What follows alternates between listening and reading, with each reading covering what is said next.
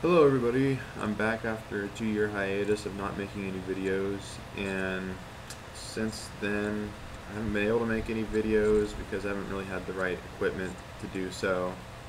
Um, after not making you know videos for such a long time I got a huge itch to make some uh, and I don't think they'll be the ones that I made that were pertaining to video games or me doing a bunch of you know stupid flips or anything like that.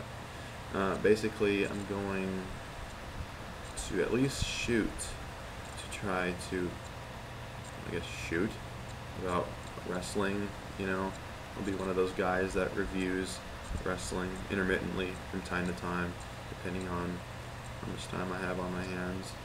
You know, I'd like to talk about Raw or SmackDown or NXT Impact, Ring of Honor, any other wrestling that comes to mind, you know, that I would like to talk about.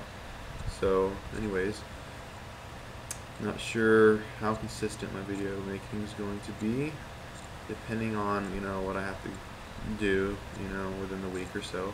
But I would really, really like to try to, you know, throw my hat out there and try to make some videos, talk about you know whatever's going on. So I don't know.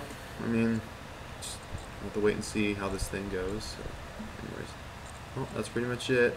Just hope you guys have a wonderful week. So probably catch you later soon, hopefully.